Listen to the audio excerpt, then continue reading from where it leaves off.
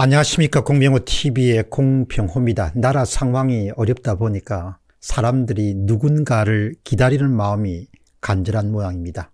좀 나라가 처한 여러 가지 그런 사회 문제를 척척척 해결할 수 있는 그런 능력을 갖고 있는 그런 사람을 기대하는 것은 자연스러운 그런 현상이죠. 여론조사 리얼미터라는 곳이 오마이뉴스의 의뢰를 받아서 전국의 유권자 한 천여 명을 대상으로 해가지고 여론조사를 실시한 모양입니다. 물론 또 리얼미터라는 그런 여론조사 기관이 갖고 있는 신뢰성에 있는 걸 미뤄보면 썩 그렇게 신뢰를 할 만하다 이렇게 볼 수는 없습니다. 그럼에도 불구하고 윤석열 검찰총장에 대한 여론조사 결과는 한 번 정도 이렇게 주목해서 볼 필요는 있다고 봅니다. 만약에 윤석열 전 총장이 제3세력 후보 그러니까 국민의 힘이라는 그런 당을 아니고 다른 제3의 후보로 옹립돼서 출마한다면 당신이 표를 던지겠느냐 이런 어, 질문에 대해서 그럼에도 불구하고 윤석열 씨에게 투표하겠다는 응답이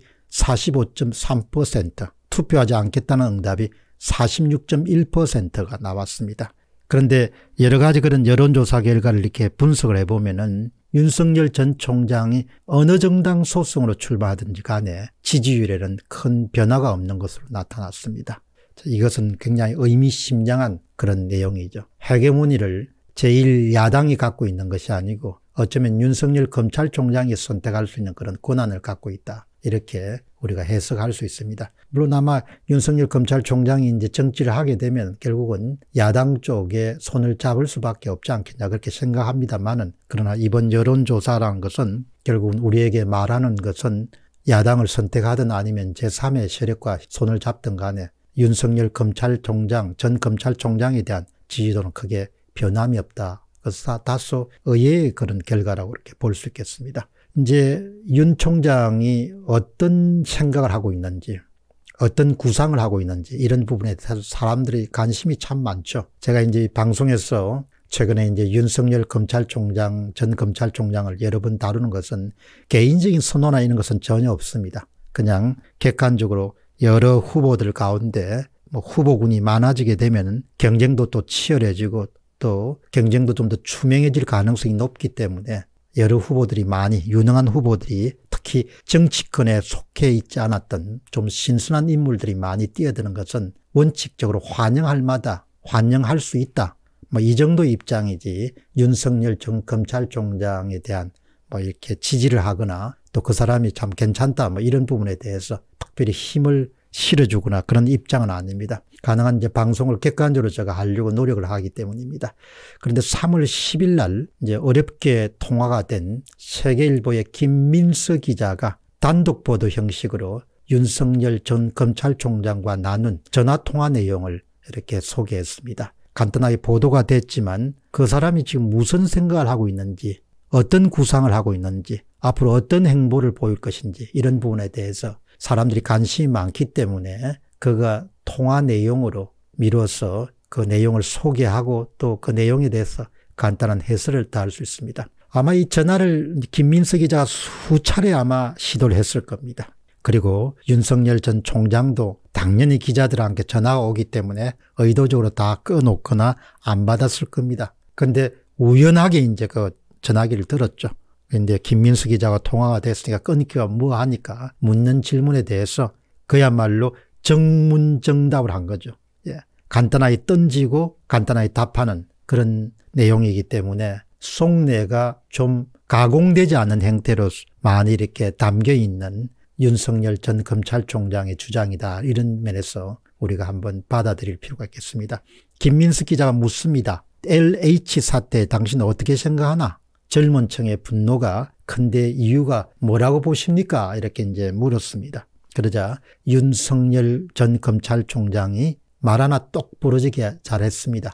배경 없이 성실함과 재능만으로 지금보다 더 나은 삶을 살려고 노력하는 청년들한테는 이런 일이 없어도 이미 이 사회는 살기 힘든 곳이 되어버렸다.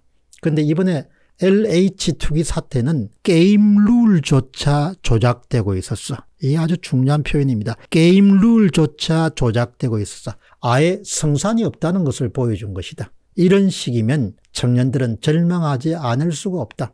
이런 이야기를 딱 했습니다. 예.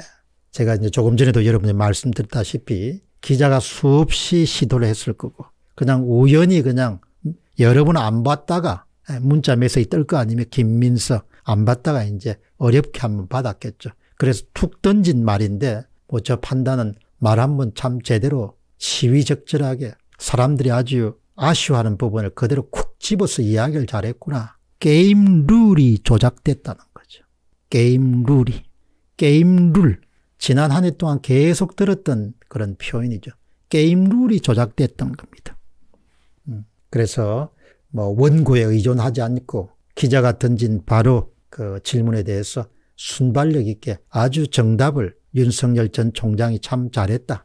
게임 룰이 조작돼 있으니 젊은 이들이 무슨 기대감을 갖고 살아갈 수 있겠느냐 이렇게 딱 정확하게 지적한 겁니다.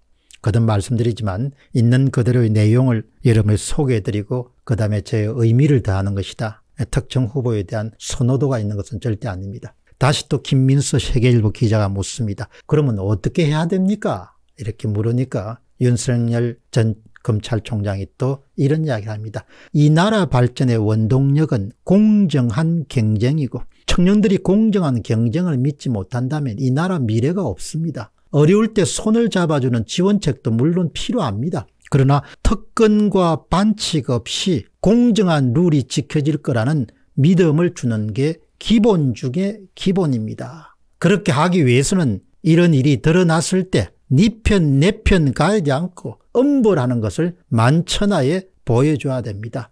확실한 책임 추궁 없는 제도개혁 운운은 그냥 아무것도 하지 말자는 것과 같습니다. 그냥 정답을 그대로 이야기한 거죠.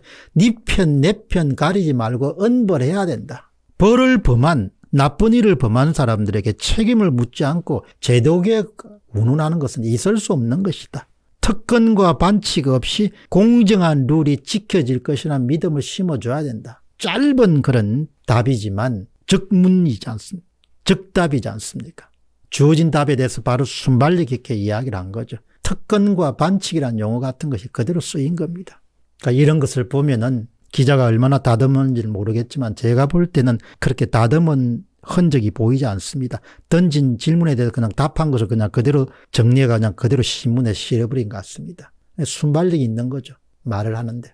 다시 또 김 기자가 묻습니다. 지난번 메시지에서 선거 계산하면 안 된다는 말을 했는데 그거 어떻게 생각하십니까? 윤석열 전 검찰총장 이야기가 다시 말하지만 정치 진영과 선거 생각하면 안 됩니다. 이건 한 국가의 근본에 관한 문제입니다. 근본에 관한 문제입니다. 저는 이게 국가의 기본에 관한 것이고 근본에 관한 것이고 지금 한국 사회의 소란스러움이 근본과 기본에 대한 부분이 너무나 많이 흔들리기 때문에 나라가 대단히 혼탁하게 보이는 것이죠. 아니 죄를 저지른 사람한테 벌을 줘야 되지 않습니까? 그러면 LH 의혹 사건이 터지게 되면 당연히 검찰이 들어가서 그 악, 거대한 악이니까 그 사건을 신속하게 파악해가 국민들이 낱낱이 알리고 해당 관계자들에게는 책임을 물으면 간단하게 끝날 일이지 않습니까? 근데 지금 보니까 어떻습니까? 검경 수사건 이후에 6대 범죄에 속하지 않기 때문에 검찰이 수사조차 할 수 없는 지금 상황이 돼 있지 않습니까? 물론 검찰이 협조하지만 그건 보조적인 말이 안 되는 거죠. 거의 적문정답이었을 텐데 윤석열 전 검찰총장이 순발력 있게 말을 참 잘했구나. 정치란 것은 어떻게 보면 또 다른 면에서 보면 말로 싸우는 것이니까 소신으로 싸우는 것이지만 보통 유권자들에게 보이는 것은 말이지 않습니까? 강한 말, 시위적절한 말, 조리 있는 말, 힘 있는 말 아주 짧은 세 가지 질문에 대한 세 가지 답이지만 아주 시위적절한 지금 꼭 필요한 그런 지적이었다. 이렇게 볼 수 있겠습니다. 어쨌든 그가 어떻게 결정을 내릴지 우리가 관심 있게 지켜봐야 될 것 같습니다. 공병호 TV의 공병호였습니다. 감사합니다. 나라를 생각하는 모든 분들에게 심천보 이사장이 쓴 우리는 누구인가, 우리는 어디로 가는가를 추천합니다.